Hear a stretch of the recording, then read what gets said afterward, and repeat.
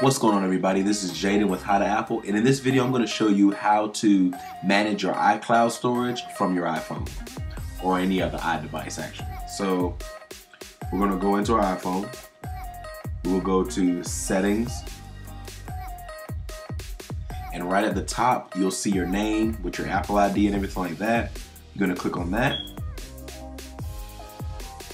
and if you look scroll down a little bit you'll see where it says iCloud click on that. Then right at the top, you'll see a layout of your iCloud memory. Maybe yours is full, maybe you have quite a bit of space like I do. So you're gonna hit manage storage.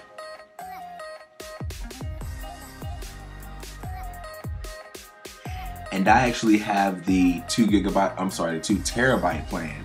Uh, just because I've gotten over the 200 and it jumped from 200 to 2 terabyte so this is how you can manage your storage. Um, it's not it's not expensive at all. If you're running into issues where you know your phone is telling you iCloud's always full, this will be how you can upgrade that storage or downgrade if you don't need that much space.